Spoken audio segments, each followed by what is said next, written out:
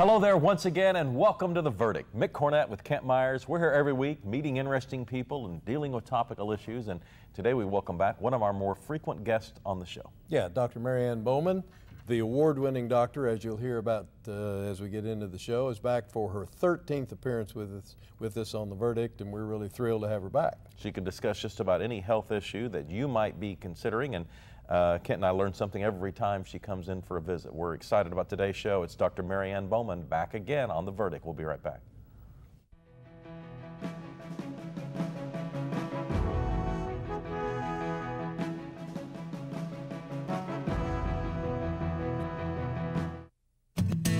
My path is different from the prototypical receivers. The namesake himself, Mr. Welker. Not recruited out of high school, not drafted into the NFL. I'm not the fastest guy. I'm not that big. He's the model of perseverance. He finds a way to make a way. So let's have some fun today, huh? We're gonna play hard. We're gonna play tough. He focuses on the kids that are not quite as fortunate as everyone else. Way to go, Taylor. The Boys and Girls Clubs, the Youth Football League. 80% of them are from single parent home, so they hear a lot of negative stuff every day. I think the coolest thing for us has been put in this weight room right here at Douglas. It's made our kids want to be involved more and more. Seeing them have losing seasons year after year. Next year, they win state. For a company like Chesapeake to recognize the mission of the Wes Welker Foundation, it tells me that they're committed to helping people.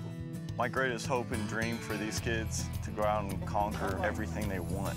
Hopefully, we can push them in the right direction.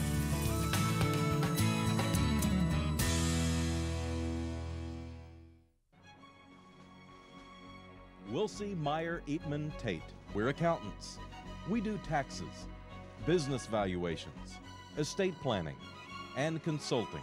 And we're right here in Oklahoma, working with the owners of small and medium sized businesses.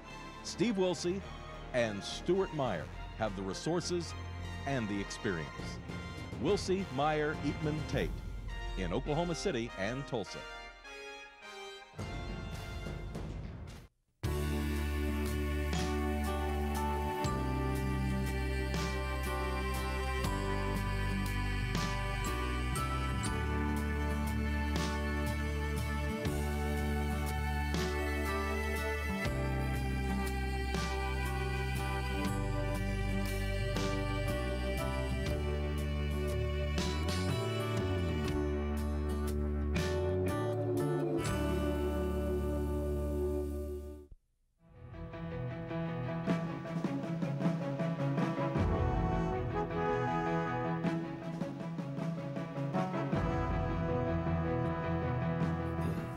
Back to the set of The Verdict. Mick Cornett with Kent Myers, and Kent's going to introduce today's guest. Today, we're really pleased to welcome back the Verdict's doctor, Dr. Mary Ann Bauman. There are a lot of shows claim her, but we'll claim her as well. Uh, Dr. Bauman uh, got her MD degree from Wayne State University in Detroit. In 1991, she came to Oklahoma and joined at that time Baptist Hospital, now Integris. She is the uh, director of the Women's Center. Uh, she is an author, a TV uh, personality, and has been uh, on the show a number of times. I think this is her 13th appearance. Most importantly to her uh, uh, patients, she is board certified in internal medicine and carries on an active uh, medical practice as well as her speaking. Uh, Mary Ann, glad to have you back. Wonderful to be here. Thank Always you for glad- having me. And I understand congratulations are in order. The American Heart Association has bestowed you with an award. Can you tell us a little bit more about Yes, it? Thank you very much. I am thrilled. American Heart Association has made me the 2012 Physician of the Year. Um, and this is a national award Wow. uh, given to a practicing physician. You got to be practicing, but giving to a practicing physician who really moves the mission along of the American Heart Association. Mm-hmm. So it's quite an honor, and I am thrilled. Well, congratulations. Thank well, you. certainly do advance the conversation about wellness, and, and especially as it, as it pertains to, uh, to cardiovascular uh, help. What's the message? What they, uh, I don't think necessarily people can, can hear it often enough. In, in general, what should people be doing? Heart disease, there are so many preventable risk factors. I mean, that's the thing that we try to get this message across. Um, there, there, we call it the Life Simple Seven. You know, uh, the things with diseases are if you have high blood pressure, keep it under control, keep your cholesterol under control. If you have diabetes, keep it under control. But then there are the lifestyle things. Quit smoking. You know, there's no benefit to the smoking. Uh, eat better. Uh, more fruits and vegetables, uh, lose weight if you need to, exercise, get your body moving. And I know you're a big enthusiast for both of those things, uh, the watching the weight and the exercise. And I know Kent, you are exercising regularly as well. These are things that can help to prevent these devastating diseases. So how are we doing in Oklahoma? We're not doing well. now, we, we, we've had your million pound campaign, which has really been helpful and beneficial. I had a patient the other day who said, I decided that I was going to join the mayor's plan, so I was very happy with that. Um, but, you know, we are a fast food capital. Uh, we drive everywhere. We're just working. I'm with the. I'm on the board of the community foundation, working on the uh, paths for walking and with the schools.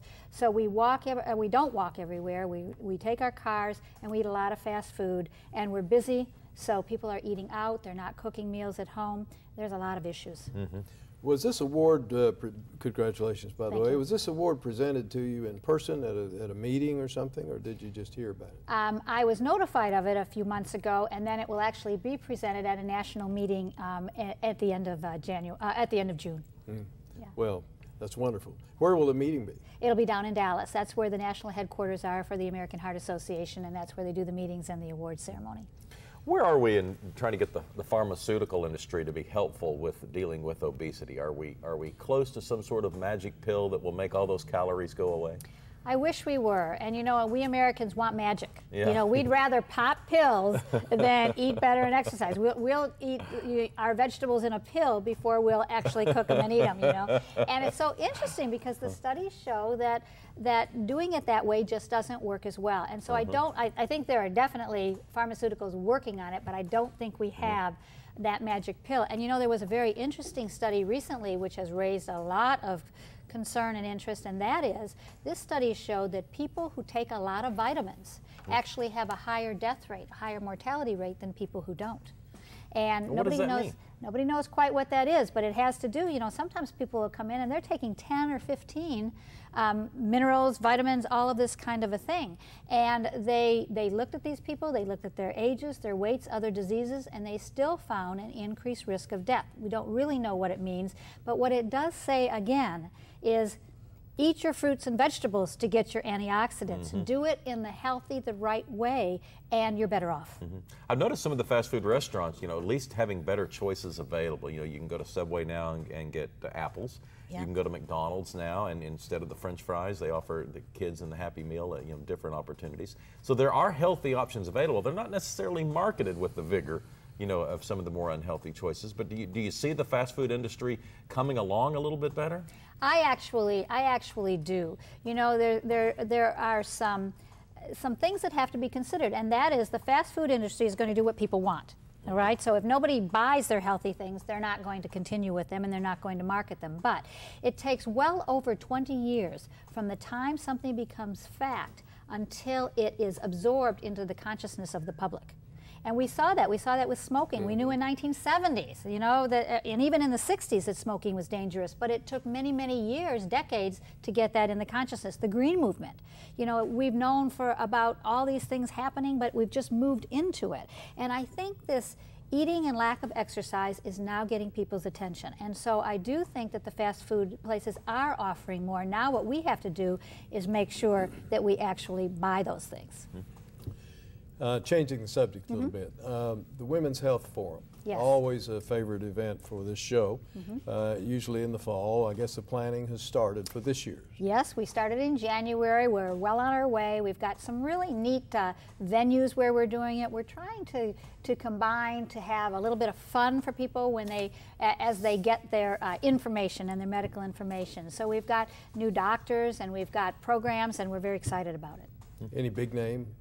Well, I'm not divulging any of Oh, that at secrets. this point. Okay, when we get closer, then we'll talk about but we that. can we can guess that there will be. We will have a keynote speaker. We Mm-hmm. always do. We look forward to that to um, kick that off, and, Mm-hmm. and we're working on it.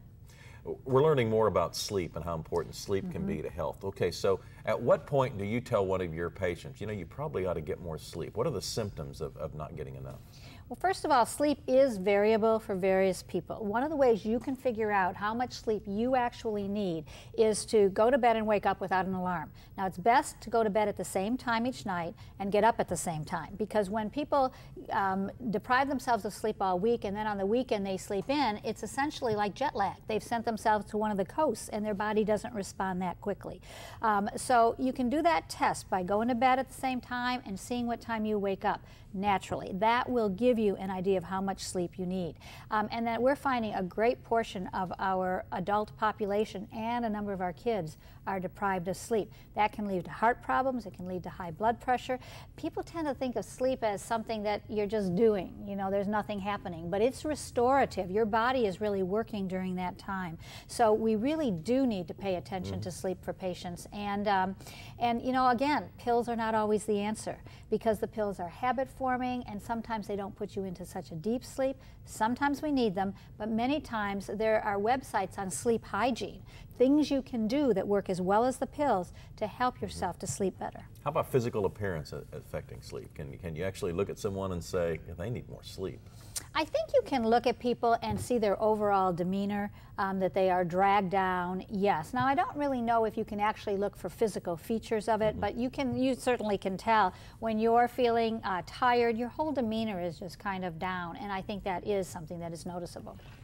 Well, I read an article uh, recently, uh, I think it was in Scientific American or something like that, mm that uh, Amanda had picked up for me, some light reading, uh, uh, about the brain when you're asleep kind of being cleaned, kind of being cleansed like a hard drive on your computer, getting cleaned up, and that sleep provides a beneficial effect to the functioning of your brain. I really think that's true. I absolutely think that's true. We're just beginning to understand better function of the brain and the immune system in the brain and how that contributes. So um, I certainly would would see that as a possibility. It's like you know when you have a cold and and you just don't feel like seeing anybody and you want to stay away and you just want to stay in bed. Um, that is something that is called sick behavior. And the immune system in the brain, because there's a separate immune system, the immune system in the brain becomes activated. And there are reasons that that happens. Number one, it's going to make you stop doing what you're doing so that you can allow your your your, body to recover from the virus. And number two, it keeps you away from other people so you're not spreading it all along. So we're just now beginning to understand um, the immune system of the brain. You know, we've talked about the mind-body connection, but now we're looking also at the body-mind connection, the signals that come from the body that trigger these things in the mind. And the interesting thing about that sick behavior, if you think about it, sounds like something else, depression. You know, I don't want to do anything. I don't want to see anybody. I'm just so tired. And so the pharmaceutical companies are looking at various therapies that might affect these parts of the immune mm -hmm. system, so might help with depression because somehow the brain is, is seeing that um, depression and its sick behavior and they're combined. Dr. Mary Ann Bauman, today's guest on The Verdict. We'll be right back with another segment with Dr. Bauman.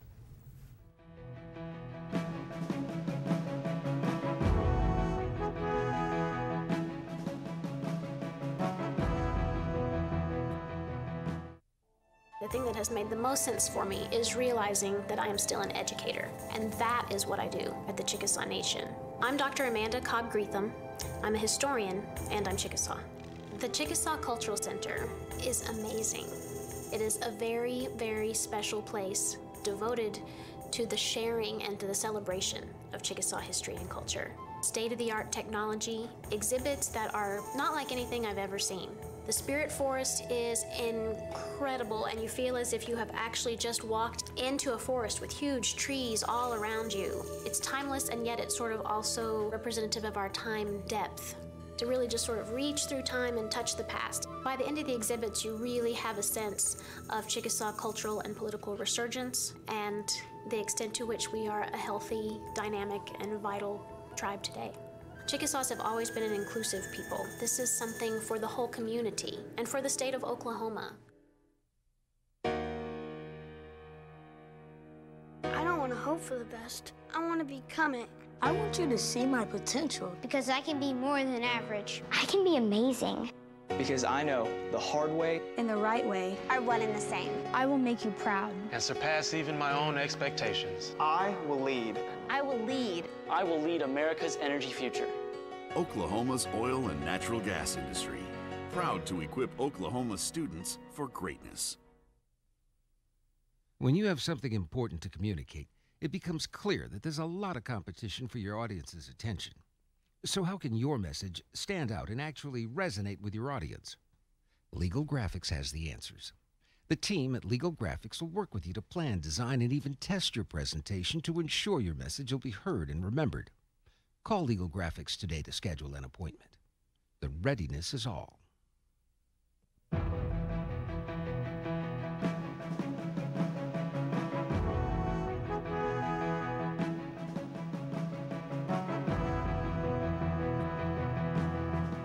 Welcome back to the set of the verdict. Mick Cornett, Kent Myers, and our guest, Dr. Mary Ann Bauman. Uh, you're still in practice. I don't know that necessarily yes. people see you on television. They don't know that, that that you're a practicing physician. That's right. I do primary care internal medicine.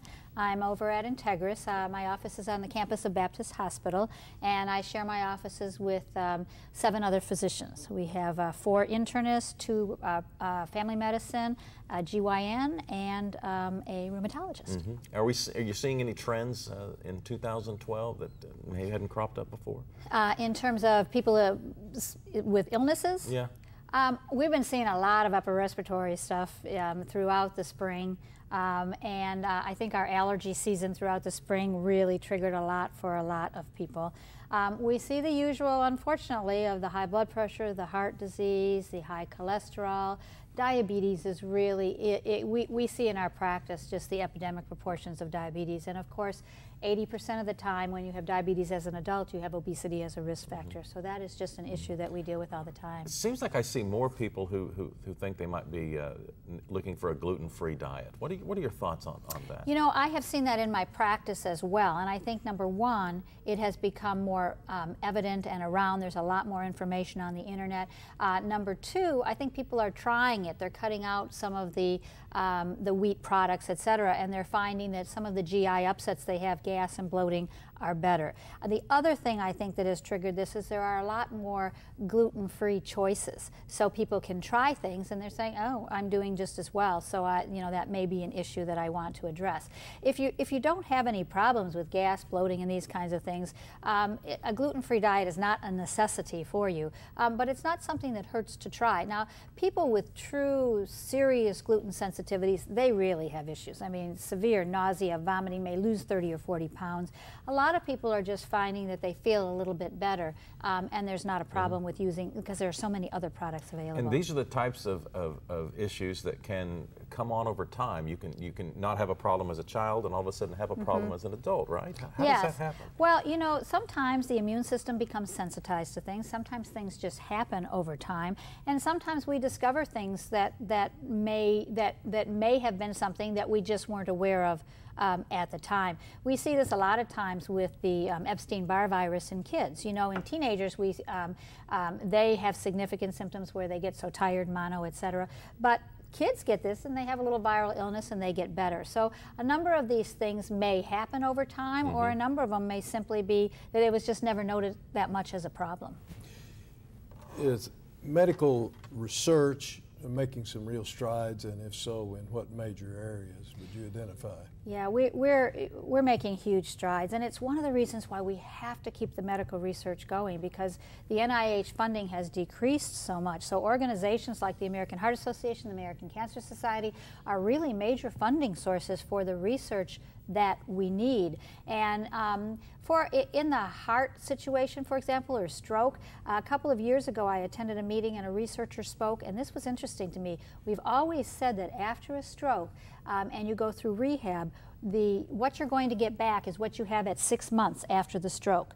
We mm-hmm. now know that people can make improvements in their function up to eight years afterwards. Wow. So we're, we're learning so much more about how the brain can re retrain. We used to think when a, a brain cell died, you couldn't you couldn't regenerate it. Well, that may be true, but you can recruit from other areas and learn again. I think the whole thing about stem cells and the diseases that will be able to be uh, cured Mm -hmm. um, and also the changes that will happen with a number of diseases uh, is going to continue. I think the whole understanding of the immune system. You know, we really knew very little about the immune system until HIV AIDS in the 80s. And then it, as, the, as the immune system was destroyed step by step, we could see how it worked. So there are a huge number of strides being done um, using um, that information about the immune system and all of the intricacies of it. I am just I am just so much in awe of how our bodies function. When you think about this, your heart is beating all the time and you're not even thinking about it. You're mm. breathing, your immune system is doing surveillance. It's kind of an it's kind of an incredible thing. And with cancer, more and more targeted antibody treatment, so it's going right to the area as opposed to um, shotgunning and having to kill all the cells, good and bad, to try to get to the cancer cells. Does a person that wants to be active as a professional in medical research need to be an MD? No, no. Um, many, many of the um, of the research studies that are done are done by basic science researchers, PhDs. And that and there are some doctors who do MD PhDs, and there are doctors who do uh, basic research and also pharmaceutical research, uh, testing different drugs. But um, I would say the uh, a lion's share of the true basic science researchers are PhDs. And at the Oklahoma Medical Research Foundation, would their uh, staff be a about like you've just described? Yes, I would say there are physicians who, who work also, especially in the rheumatology area and cardiovascular. There are a number of researchers there um, who are MDs and PhDs or MDs doing mm -hmm. research, but a lot of them are PhDs. And you know, it's interesting. Um, with the American Heart Association, we raise funds. We have the Heart Walk, we have the Go Red Luncheon, we have the Heart Ball, and more the funds that we raise in Oklahoma, we get more funds back than what we actually raise mm -hmm. for the the research studies, for the training, for the education. So um, it, it's a really giving back program that helps us right here in our state. Are there specialties that um, we don't have enough of in either Oklahoma or the United States? In other words, are, are there more graduates that need to be directed to, to, certain specialties, or does Oklahoma have a shortage of, of any of these that, that, that you think uh, is, is, a concern, and maybe we ought to start recruiting? Well, you know, the, the hardest area is my area, um, primary care. That's where we have. That's where we really well, have a shortage in the country, um, for a number of reasons. Number one, the um, uh, the uh, training of residents is often done in hospitals, so they're more comfortable with that. They're exposed to the specialty kinds of things. Number two, uh, reimbursement for primary care is much lower than what it is for specialties. And when people are deciding what they're going to do and what they like, um, sometimes they may have $100,000, $200,000 worth of loans. So mm -hmm. thinking of that aspect of it, which is not a wrong thing to be thinking about, makes a difference. And then when you're in primary care, you really have to cover a whole huge scope. And sometimes people feel that they really would like to be in one area where they can really know every single thing about that particular organ system. Um, but back in 1980, when I was on some task force looking at this, we said the same thing then. We need more primary care. We will need more primary care. But until the reimbursement becomes a little more mm -hmm. uh, equal, because a primary care doctor can spend an hour with a patient deciding what's going on, talking about all of these things. A specialist um, with a scope that goes down is going to be 10 times the reimbursement for something. Now, I'm not discouraging that or disparaging that at all because absolutely, when I have a patient who needs a study, I am so glad they are there. And our cardiovascular surgeons, our cardiologists are in the hospitals all night long, mm -hmm. uh, taking care of those patients who come in from the emergency room.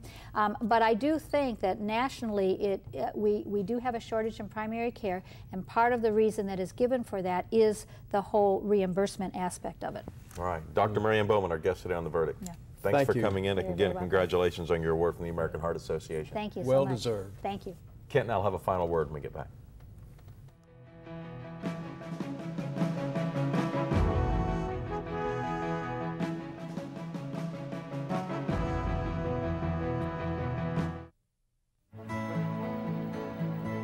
The good life comes naturally to Tulsa, where nature's beauty is matched with an eye for aesthetics a legacy of neighborhoods graced with lawns and landscaping and handsome homes. A place that seems to have patented an ideal lifestyle. Bank First is loyal to the quality of life Tulsa assures its citizens, to the priority placed on education, culture, and growth. Loyal to builders who transform raw land into residential charm developers who see opportunity and add vitality to Tulsa's economy.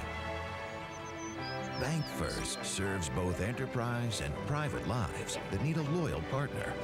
It's how we help nurture this city's very good life. Bank First. Loyal to Oklahoma. Loyal to you. All children deserve a life of hope and love, but sometimes they experience a life of pain, neglect, and abuse. When that happens, each child deserves all the quality assistance and representation that can be offered in our legal system. For more information, call 23-CHILD. Oklahoma Lawyers for Children, helping to bring hope and love back to the lives of abused children.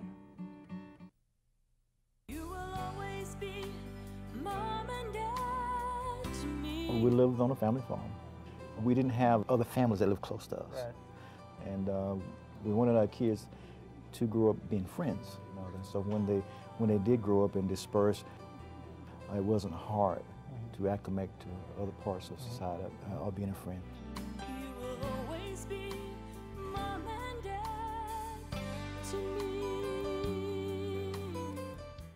The Journal Record is pleased to be a sponsor of the verdict. The Journal Record, since 1903, the best source of Oklahoma business news and legal information. And for almost 30 years, Oklahoma political, government, and business leaders have turned to the McCarville Report for accurate, reliable, inside information. Visit the McCarville Report online.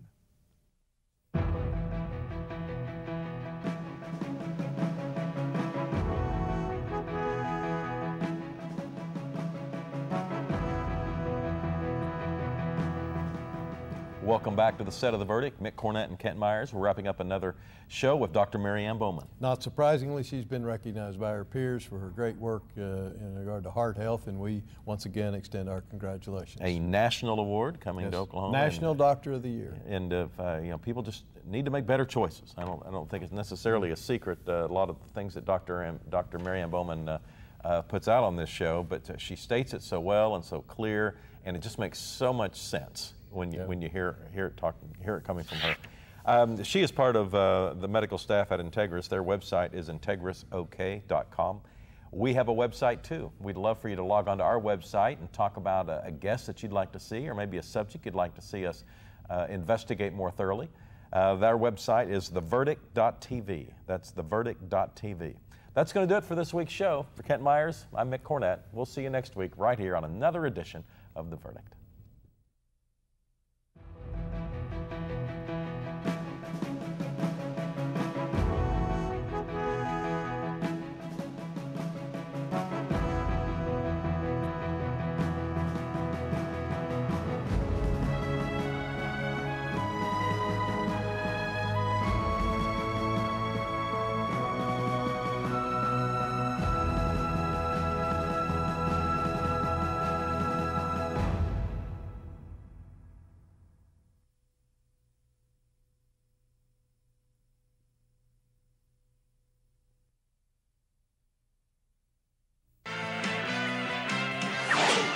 Preceding program was produced exclusively for the Cox Channel.